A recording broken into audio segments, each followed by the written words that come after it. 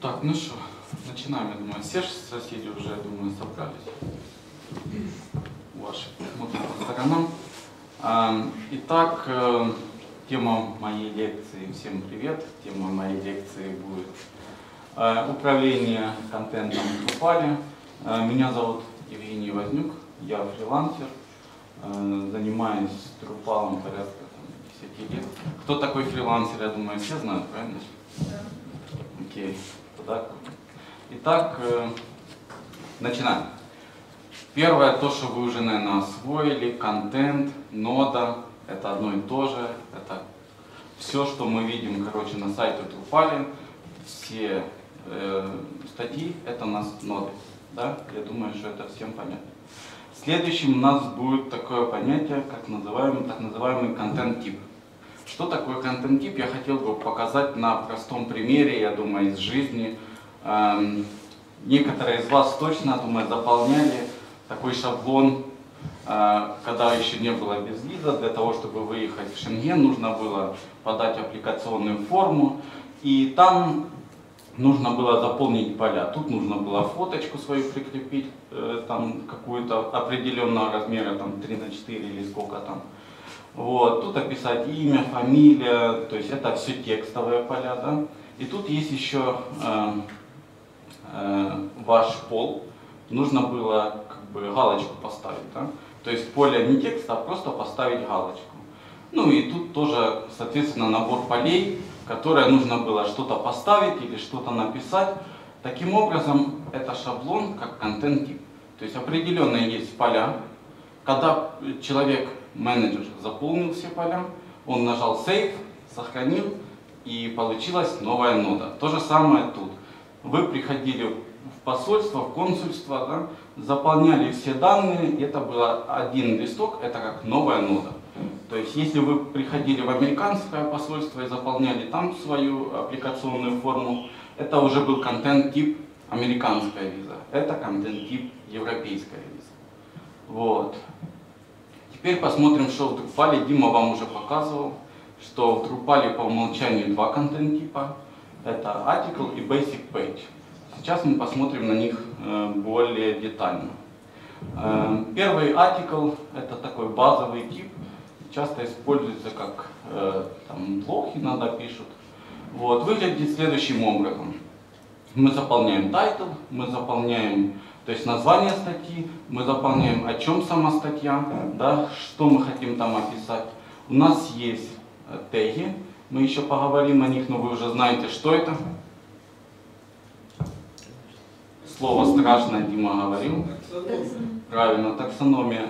Вот, у нас есть картинка э, и альтернатив текст. Кто знает, что такое альтернатив текст? Правильно. Вот, э, тогда супер. Практически ничего не надо рассказывать. Вот. И есть там определенные настройки. Допустим, э, у нас есть возможность э, дать возможность людям комментировать статью или запретить. То есть, если мы close, то значит, соответственно, мы не даем возможность комментировать статью. Мы можем тут еще промоушен какие-то опции автора. Вот. Ну и в итоге у нас получается красивая статья. У нас есть картинка тут с кошкой, да, текст и у нас есть комментарий. То есть мы пишем э, о чем комментарий и пишем, собственно, сам комментарий. Дальше. Если мы заполнили две статьи, у нас уже на главной странице просто красота. То есть список из двух статей. Три, значит, соответственно, три статьи, да? То есть э, все просто пока без проблем. Вот. Basic Page э, – это еще один стандартный тип контента в Drupal. Э, он чуть-чуть отличается от э, Article тем, что тут только две, два поля – Title и Body. Да? Ну, есть возможность сохранить, и настройки все те же. Комментарии, все, все в принципе как в Article. Отображается статья ну, чуть более уныло, да, в том плане нету картинки, никто не бегает по экрану, поэтому ну, как-то так. Поэтому двигаемся дальше.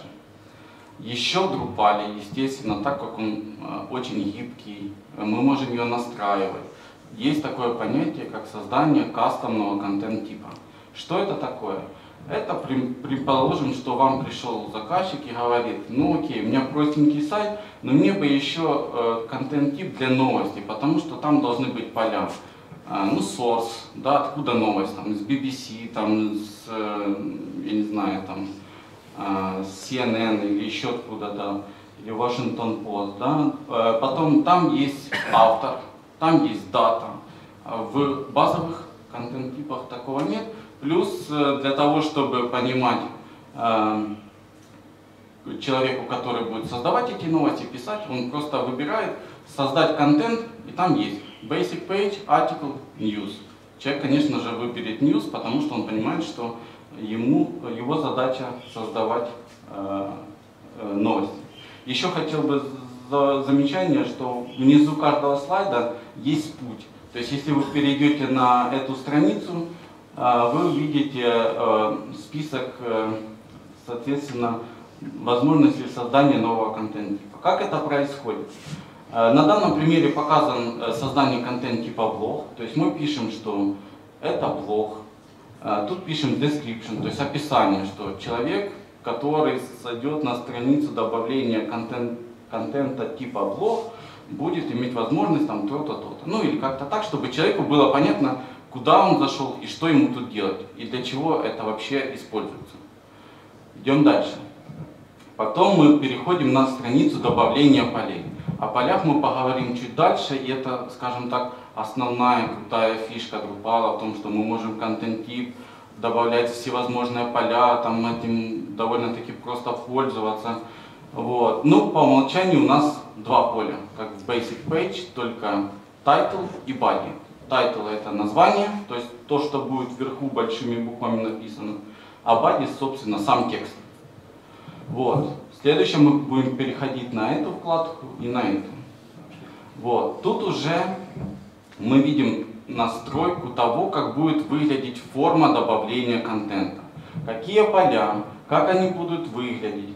Предположим, э, вот поле э, картинка, да, image.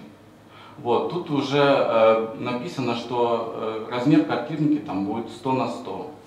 Э, там title 60 э, возможных символов. Вот. Также мы имеем возможность, вот видите, крестик, мы можем его перетащить в disable, когда человек будет заходить на э, создание этого контента, он этого поля не увидит. То есть у вас есть возможность настройки э, своего контент-типа. И на четвертой вкладке мы уже имеем возможность настроить то, как поле будет выглядеть не для администратора, а уже для конкретно пользователя, который зашел на вашу страницу. Вот. То есть э, тут есть следующие настройки. Лейбл – это название самого поля. Обычно его скрывают, скрывают, потому что если это картинка, сверху написано image или картинка, да? Ну зачем? Человеку так понятно, что это картинка. Поэтому мы его скрываем, hidden. Вот. А уже как будет выглядеть картинка, мы тут можем настроить э, размер. В данном случае large 480 на 480, но тут есть такой конфигурационный, э, э, скажем, иконка, где можно выбрать другой. Мы сейчас посмотрим, как это создавать. Вот. Так же, как и в предыдущем, можно, если нам не нужны, не нужны теги, мы можем их перетянуть в disabled, и, соответственно, на странице мы их не увидим. Это понятно? Да, и порядок, естественно, можем поменять. То есть э, имидж у нас был, э, картинка с альбом был э, в самом верху, поэтому, вот видите, она первая идет в списке. Вот, ну, если вам этого недостаточно, э, вы можете создать дополнительные дисплей-моды, то есть это для, для человека, который создает контент, а это для человека, который будет уже просматривать этот контент. Но, в принципе, для, скажем так, для начинающих это плюс-минус можете зайти поиграться вот сюда на эту страницу, да, но я думаю, что под тех, что есть, вам будет достаточно. Вот. Страшное слово таксономия, да, но я думаю, вы уже привыкли. Что тут нарисовано, я думаю, вы понимаете, правильно? Книжка, ой, полка, книжки. В книжке есть фэнтези и history, да, то есть категории. Ничего как бы под этим словом э, страшного нет. Вот. В Drupal есть э, по умолчанию один, один словарь. Словарь это такое сборище всех категорий. И обычно называется, к примеру, если у вас есть новость. В новости есть категории, какие там, мировые новости, экономика, спорт, fashion, девочки, мальчики, там, я не знаю, все что угодно, да, о чем может быть новость. Вот, поэтому вы создаете отдельный словарь, нажимаете Add Vocabulary, называете его News категории, к примеру, вот, эм, сохраняете, у вас появляется тут уже вторая News категория, и тут будет кнопочка List Terms. Вы нажимаете и можете посредством Add Term добавлять только сколько э, категорий, сколько вам нужно. Также вы можете вот этим магическим крестиком э, тягать их туда-сюда, категории, от подкатегории делать. Можете изменять слова там, ну, то есть все вы можете редактировать из админки. Есть, едем дальше. Поля. Но перед полями я хочу, чтобы вы выдохнули и сказали, есть вопросы или нет. А есть организация топ-полей? То есть вывод контента топ-полей в лидере самого контента на странице или на странице? Э, но мы сейчас будем рассматривать именно поля и как они там настраиваются и как выводятся. Ну, отвечая на вопрос, есть. Да. Еще есть какие-нибудь вопросики? Или понятно? Ну окей, поехали дальше. Э, не зря тут нарисован Супермен, потому что ну, реально это крутая фишка Drupal.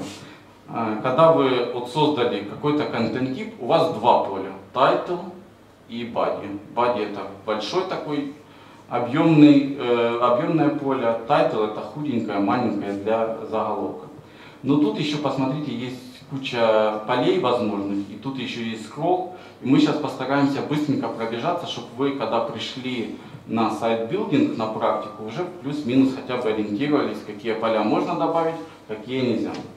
И для чего они вам нужны. Итак, поехали. Первое поле называется field bullet, это тип. А, и тут давайте сразу еще так остановлюсь на пару секунд. Виджет – это то, как поле будет выглядеть для человека, который создает контент. То есть, помните, да, слайд, поле маленькое, поле большое.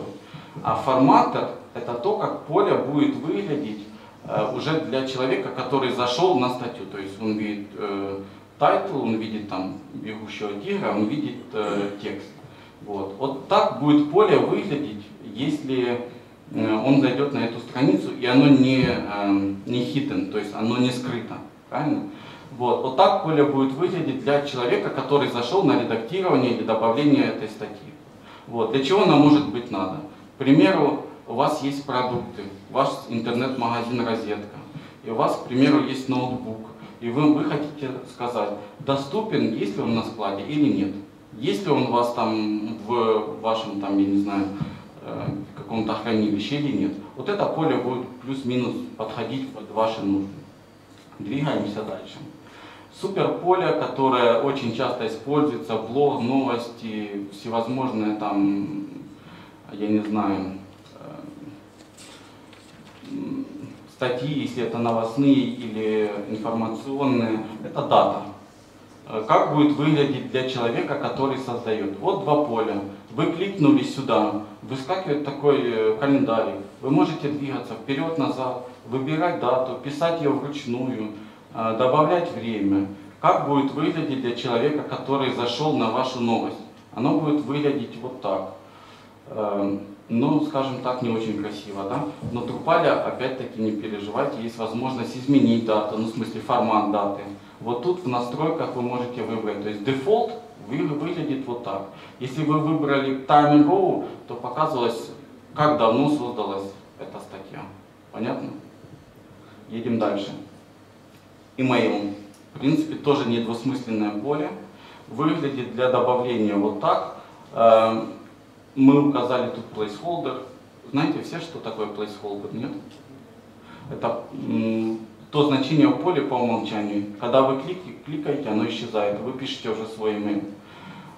Слайд делал не я, поэтому не уверен, что это email по Mail Anderson. Но можете написать проверить. Вот. Эм, тут также можно выбрать, как это поле будет выглядеть для э, ну, человека, который просматривает вашу страницу. Следующий.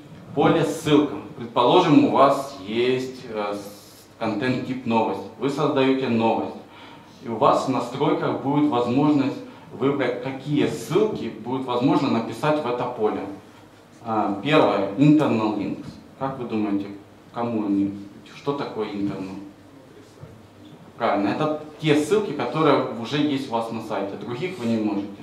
External – это, соответственно, на другие ресурсы. Например, у вас есть э, новость, вы ее э, украли, взяли у CNN, да, и вы должны написать, что это CNN, и тут, соответственно, ссылку на CNN, и тут текст пишите, э, там, CNN. В итоге будет выглядеть плюс-минус вот так. А, ну и тут дополнительные есть возможности настройки. К примеру, Open Link in New Window. Если вы сделали тут э, галочку, поставили, да, чекнули чекбокс, то когда вы кликаете сюда, у вас открывается новое окно. Ну, просто супер. Дальше. Комментарии. Ну, тут основные настройки, я думаю, что не очень сильно нужно их там что-то менять. То есть сколько комментариев на странице, можно там 10, 25, 150. И, в принципе, на этом все. Также вы в комментариях можете указывать, какие вам поля нужны, какие не нужны. По умолчанию тут есть три. Автор, тема э, комментарий, сам комментарий. Да, в итоге получаем вот такую штуку. Вот тут вверху у нас статья, ну, где-то там. Вот. И два комментария. Автор, дата комментария э, и э, title комментария, то есть название и сам комментарий. Вот. Дальше. Числовые поля это более интересно в том плане, что вы, а, если у вас интернет-магазин, у вас есть цена, правильно? Для того, чтобы указать цену, вам нужен а, тип числовой. Первый это field list. Что такое field list? Это возможность, э, когда вы хотите человеку предоставить список какой-то. Да? Если вы выберете select list, то у вас будет вот такой выпадающий список. Если вы выберете э, Radio Buttons, это у вас будет такой переключатель. То есть вы можете выбрать между разными вариантами. Все варианты вы можете сами написать вручную. Это машинное имя, то есть то, которое будет понятно машине, а это то, которое будет понятно человеку, который будет создавать эту ну, там, статью, новость или еще что-нибудь. Вот. Ну и в итоге для человека, который зайдет на эту вашу статью, он увидит, это лейбл, это сам то, что вы выбрали, вот это тест 1. Если вы выбрали тест 2 тут, то, соответственно, тест 2 был. В принципе, все просто. Да? Вот э, числовые, то есть э, тут вы указываете, сколько там точек после, ой, сколько чисел после запятой будет видно на сайте для обычного пользователя. Но я думаю, что плюс-минус понятно, что вводим только числа, текст недоступен. Вот. Скажите, пока понятно? Потому что сейчас мы будем углубляться в более сложное программирование мышкой. Есть вопросы? Есть. Okay. Internal links указывается относительно рута домена или сайта? А, еще раз. Internal links. Да. Куда указывает? Ну, на страницу, которая у вас есть на сайте. Относительно корня домена или сайта? Домена. То есть если у меня на домене несколько сайтов, то мне надо будет указывать за слэшем название. Э, по-моему, Ну да, по-любому. Да, потому да, что да. это работа HTML начинается. здесь. м, Но там еще такая магия происходит. Drupal начнет вам помогать и подсказывать, как правильнее его оформить, а потому что там он будет предлагать статью автокомплитом. Да, ну там в этом на самом слайде было видно колесико такое. Вы пи- пишете название статьи, оно вам предлагает. А Если я создаю тип контента, он в в Тип Но оно контента, будет. Это не, будет, не может быть ссылкой, потому что у него нету страницы. Тип То есть контента тут- это же ну, страница. типа. Там без разницы. Да, что там, там нет ограничений. Спасибо.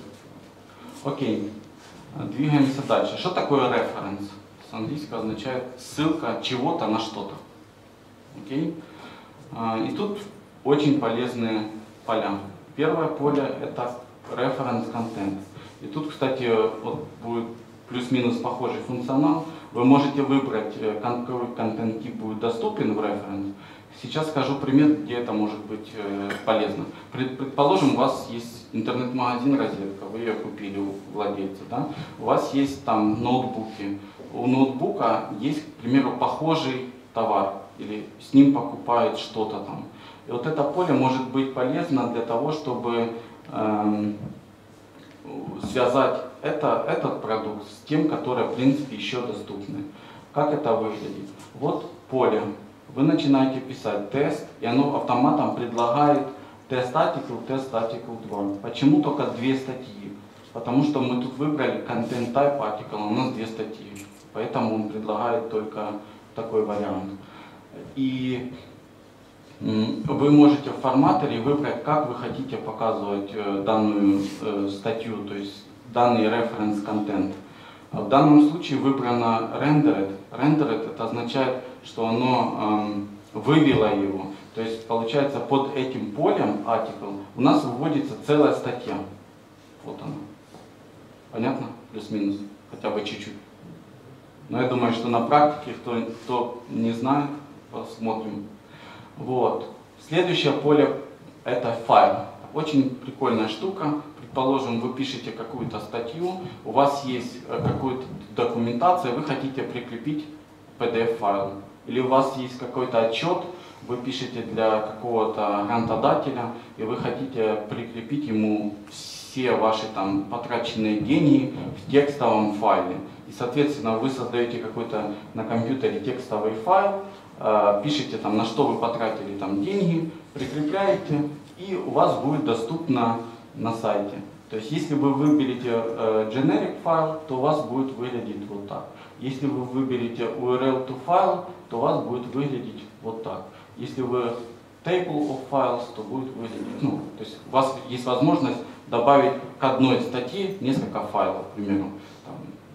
Описание, если у вас товар, то там документация, документация на английском, документация на украинском, документация еще на чем-то, и там э, гарантия, то есть все, что вам нужно. В Drupal есть крутая штука, файлы, то есть Дима вам показывал контент, и тут список контента. Есть файл, тоже вкладочка такая, и тут список э, файлов, Э, как файл называется, какой у него тип, когда он был там з- залит на сайт, когда его изменили, и где он используется, в скольких местах. И вы можете все это контролировать. Вот ссылочка на сам, на вот этот табик, и вот на дополнительную документацию по файлам. Если кому интересно, можете почитать. Вот. Ну и супер популярное поле image, которое практически эм, всегда присутствует на всех контент-типах. Собственно, мы, дает возможность загрузить картинку. Вы уже видели в начале доклада. Вы можете регулировать, какие типы, то есть там JPEG, PNG, или только там TIFF, или э, куда загружаете, какой, э, какая величина картинки. То есть вы можете конкретно задать, чтобы ваш э, человек, который будет работать на вашем сайте, к примеру, у вас интернет-магазин продуктов, и вы уже устали повторять э, контент-менеджеру, что там Катя Чевова, чи там Надя, пожалуйста, вырезай картиночку 100 на 500, не больше, не меньше. Поэтому вы можете просто попросить человека настроить, чтобы оно не дало ей возможность или ему загрузить такую картинку. А, И выброс, э, ну, соответственно, ошибку, что, пожалуйста, загрузи файл размером таким на такой. Вот. Ну и, соответственно, мы можем регулировать, како- какая величина картинки появится уже на странице для пользователя. В Drupal есть э, три, эм, это называется image style, 480 на 480, 220 на 220, 100 на 100. Если вам мало и вы хотите что-то еще, вы можете создать свой собственный image style, указать какого э, он будет размера, тут написано увеличить до 480 на 480. И тогда у вас будет возможность э, в форматоре выбрать э, не 480 на 480, а другой. Вот. То есть все настраивается, все просто. Ну и последняя группа полей это текстовые поля. Эм, Это плюс-минус такое же поле, как вы видели, title. Это такое же поле, как вы видели, body. Да? То есть, э, видите, у вас тут есть такая штучка, называется она CK Editor. Что это такое? Это Word-подобное, да, кто работал в Microsoft Word, эм, редактор, визовик, э, который позволяет вам как-то изменять ваш текст. Это может быть там величина шрифта, цвет шрифта, э, справа налево, сверху вниз, сбоку, там, я не знаю, куда еще, по диагонали.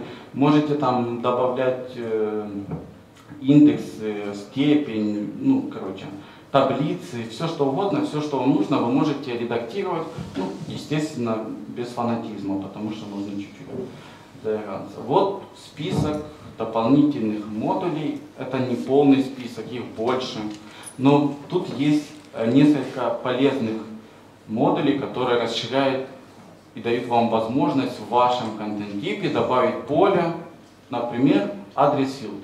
Если вы устанавливаете модуль адрес field, вы добавляете такой тип поля в ваш контент-тип, у вас, когда вы добавляете новую ноду, новый контент, будет такое поле, такая простыня, и там будет эм, улица, адрес, там, индекс, страна, область, ну, короче, все, что вам надо в одном поле. Окей? Вот. Ну и, допустим, колор. Вы продаете футболки, у вас футболки там красного, зеленого, синего цветов. Вы хотите только, чтобы человек, который добавляет у вас футболки на ваш сайт, мог, э, имел возможность выбрать, да, какого цвета футболка, сколько она стоит. Я думаю, понятно. Ам, да, дополнительная информация. Тут очень много ее, поэтому я вам советую почитать. А, Вот. Э, И тут наступает третий этап, очень самый классный. Есть ли э, поля? Есть ли вопросы по полям? А с- Скажи ты, пожалуйста, вот э, когда создаешь тип статьи, там вот хотелось бы, чтобы был заголовок, а title прописывался отдельно от заголовка. Это возможно такое? А, Title в смысле в браузере, который был? Да, вот тот, который вверху будет. Ну, из э, ядра не- невозможно, а вообще возможно. Можно. Возможно? Можно просто скрыть э, title, который в машине основной. Ну, да, я хотел об этом сказать, но Ну, можно дополнительное поле как заголовок. ну, в принципе, возможно. Да, Возможно, да? да. А не очень понятно, что вот это такое image style. Зачем они нужны? А, Я верю, что тебе не очень понятно. Э, Значит, image style нужен для того, чтобы у вас есть поле картинка. Часто бывает, что вы вот э, не можете постоянно просить вашего дизайнера или человек не знает фотошопа, да, или еще какого-то графического редактора. И он не может, допустим, эм, скажем так, отредактировать картинку так, чтобы она была м, хорошего размера, потому что, ну, предположим, у вас верстка такая, что слева там должна быть картинка, справа текст. И картинка желательно только такого размера, потому что верстка чуть-чуть съедет. Вот. Это очень э, часто используется в списках. Мы чуть дальше посмотрим. Вот. И Image Style позволяет вам возможность создать, эм, скажем, шаблон, и Drupal сам вырежет картинку такого размера, какого вы ему зададите.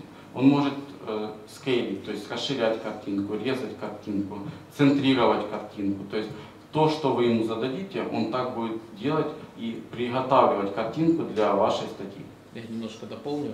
Также в разных местах сайта у вас могут быть разные э, размеры. Например, где-то, так как это список, это маленькая картиночка, где-то на главной странице это большая картиночка и так далее. И вам не нужно каждый раз перезагружать картинку под разный размер, вы просто загрузили один раз большую и задали условия, где какой э, способ отображения этой картинки э, использовать. Отличное дополнение. Кто еще вопрос есть? Вот и все, да? Ну ладно, поехали дальше. Теперь Бэтмена обсудим. А, В Drupal в ядре есть модуль, который называется Views. Это, ну, скажем так, один из, наверное, главных, если не главный, такой козырь Drupal по сравнению с другими CMS и другими системами. Эм, И он нужен, в принципе, для создания списков. К примеру, у вас есть контент-тип новости. да, И вас заказчик попросил, сделай мне страницу, где будет 10 новостей. И там будет внизу 1, 2, 3, 4, ну, переключатель по страницам. Вот этот модуль позволяет это быстро решить. Или, допустим, у вас есть заказчик, хочет, чтобы блочок с пятью новостями выводился в каком-то, э, там, на какой-то странице. Вот этот блочок со списком 5 новостей, да, э, может тоже позволять делать с помощью Views. Ну и, в принципе, у него очень большие возможности. Давайте плюс-минус посмотрим, э, что у нас есть. Итак, мы, э, модуль Views включен в Drupal ядро. Э, По умолчанию у нас есть уже небольшой список модулей. И тут уже есть вот этот файл, с которым мы смотрели перед этим. Помните, список из файлов, которых мы используем. Вот. Также есть front page. Э, В начале доклада у нас была картинка, где э, front page, и там две статьи, которые добавлены, с двумя тегами, по-моему, да? Вот. Как оно выглядит? Ну, выглядит достаточно внушительно.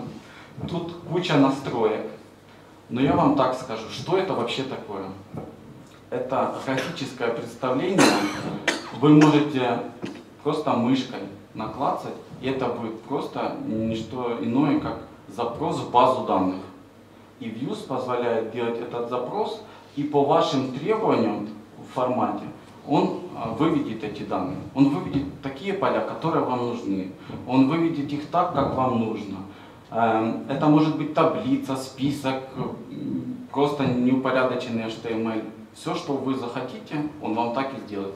Плюс, я не знаю, на тимизации где Саша? Саша, вы будете с фьюзом тимизировать, нет?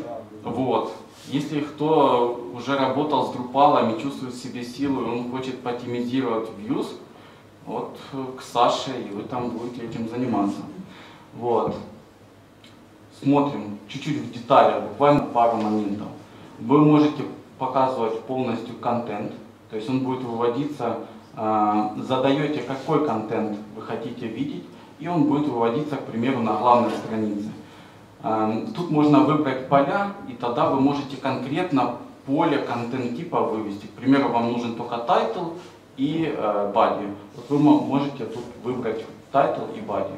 Также вы можете настраивать сорт и фильтр, то есть какие, какой тип. Только в том, только вывести те контент, в которых создан не, там, не позже чего-то или не раньше чего-то.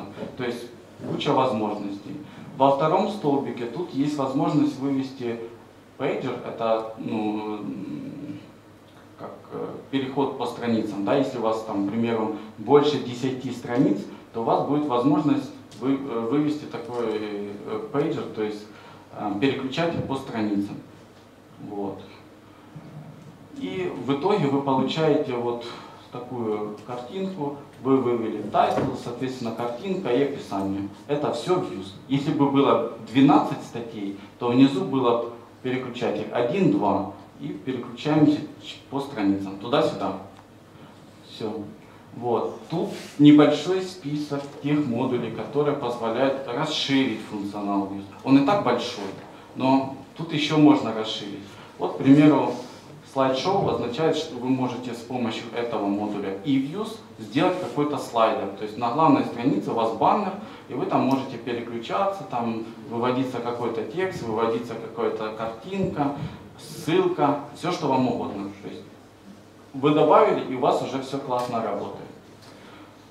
Смотрим дальше. Блоки.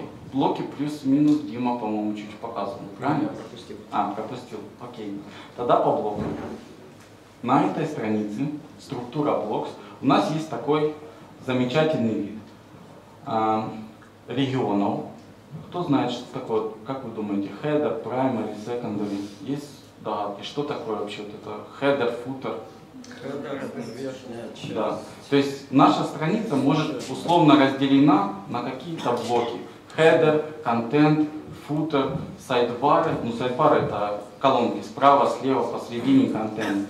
И в каждую эту область вашей темы вы можете поместить тот или иной блок.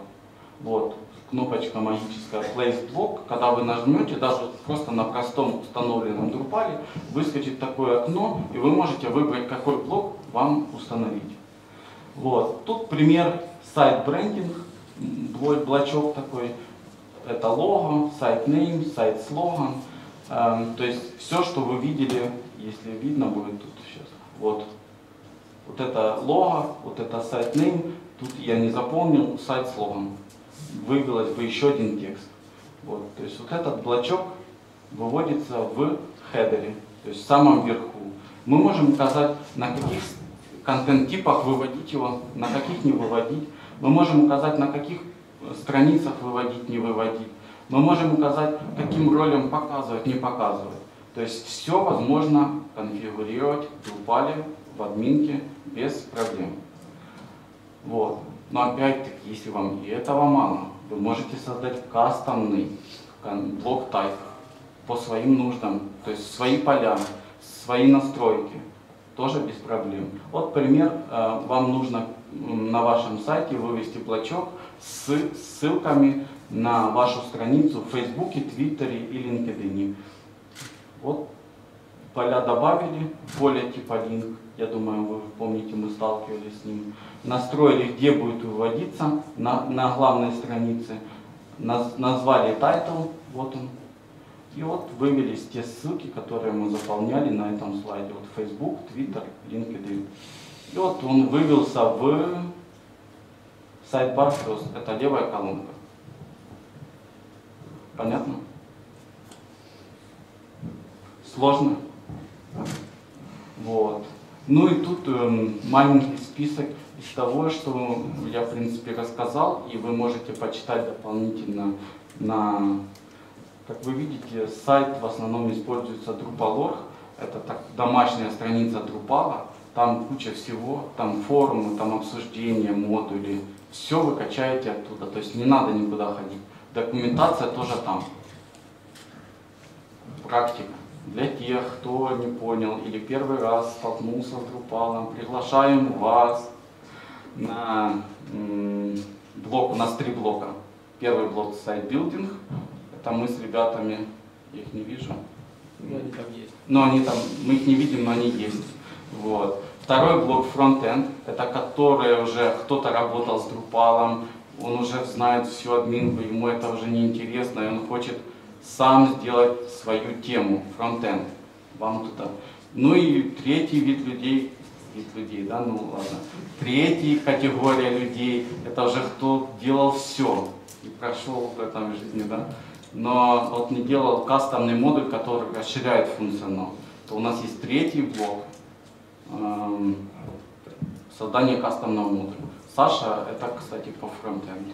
То есть к Саше э, записывайтесь, Саша, который... приходите и Я уверен, что он ничего не знает. да, ну он махает ручкой, поэтому все уже знают Сашу. Вот, и вы будете вместе с ним э, делать кастомную тему. Ну а у меня мы будем более детально рассматривать все. Мы создадим корпоративный сайт, он будет супер-мега классный. Все будем программировать мышкой, несложно. Кто боится, welcome.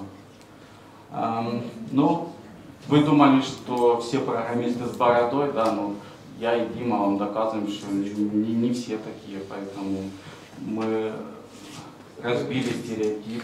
Вот э, добавляйтесь друзья, будем дружить с семьями. Есть ли вопросы? По третьему блоку, там у нас был views мега сложный. Есть? Нет? Неужели? Хоть один? Нет? О. Отдельно, повысить? А, ну, мы выложим, да, выложим Да, мы, да. А, мы обязательно все слайды э, добавим на страничку в Фейсбуке и на метапе они все будут продублированы. И, скорее всего, там же будет э, добавлено видео, но только не сразу, пока оно там обработается, загрузится. Чуть-чуть позже. А слайды мы буквально в понедельник выложим. Все будет доступно. Если в крайности вдруг что-то где-то потеряли, смело пишите мне, Жене, девочкам, да куда угодно. Мы везде доступны, везде На отвечаем. любой стене пишите, мы ответим. Есть еще вопросы? Вот. А у меня был там слайд. там У тоже Димы тоже было, у меня вот ищите. Вот, я тоже, а, вы можете, если зайдете в- на Фейсбуке в комьюнити, в Харьков комьюнити, там вы этих всех людей легко найдете то в списке организаторов, то Да, там да. комментируют, то еще что-то творят. Мы по- появляемся там впереди. Вопрос по поводу безопасности страницы. Где ее настраивать? Как? Эм, В принципе, Drupal эм, постоянно, периодически у него выходит э, обновление по секьюрности, то есть э, по безопасности. То есть если вы не пишете свой дополнительный какой-то модуль, то он достаточно безопасный. Единственное, что вам нужно, обновиться до последней версии. А что, какая страничка подразумевается? Не Да. совсем понятно.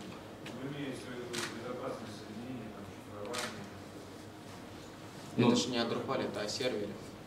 Это о сервере. Как сервер настроен. Но это ниже уровнем, это на уровне сервера настраивается. То есть есть два варианта. Первый – это вы приходите к вашему системному администратору и говорите, у нас что-то не, не э, безопасное.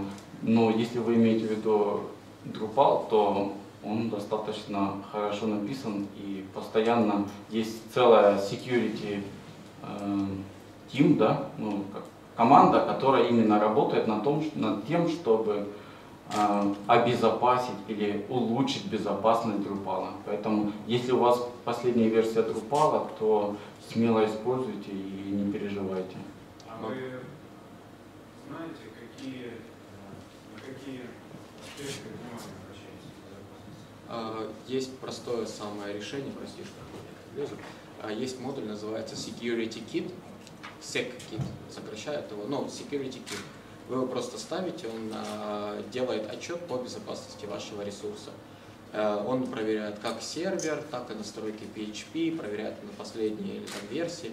И в это- по этому отчету вы можете либо сами там подконфигурировать, если это можно подконфигурировать на уровне Drupal, либо что-то поменять на уровне сервера, попросить админа, например. И в Drupal еще есть э, табик такой, э, в, если помните, да, гимном было сайте, там статус рекорд есть вкладочка, и там минимальные требования по безопасности Drupal там есть. Сейчас Дима вам покажет, да? Да, если попаду немножечко. Эм, Статус репорта, это? Да, там Я есть базовая, ну, там Да, у вот. Димы уже одна ошибка, да, то есть Да, я- уже не секьюрный. То есть если вы зайдете на эту страницу, вот она, Да, тут весь отчет. и, Тут, э, э, по крайней мере, базовые э, по безопасности вы найдете. Там еще он будет расширяться отчет за счет дополнительных модулей, Да. они будут дополнять информацию, это все. То есть, в основном, э, безопасность это самая последняя версия Мгм. всего. Ну и тут плюс э, модуль, который Дима сказал, плюс следить за тем, чтобы сервер был правильно сконфигурирован. То есть, чтобы его было, ну скажем так, не просто взломать.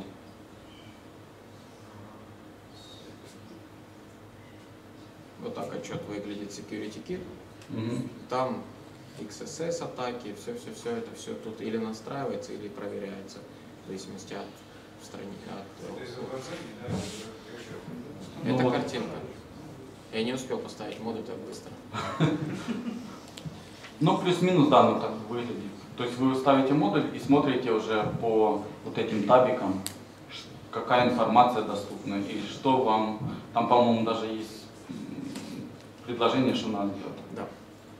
А еще есть прекрасный ресурс, называется э, Google Page Insights. И он еще больше рассказывает, еще и по производительности Да. проверяет ваш сайт. Закругляемся. Есть вопросы? Есть вопросы. Я смотрю, SQL база, как, какая? Это потому, что я делал это все на э, Да. запуск э, проекта я делал на коленке вчера ночью, и э, там есть режим, называется Quick Start у Drupal. Одна команда, и он сразу разворачивает сайт на SQLite, потому что SQLite не требует сервера.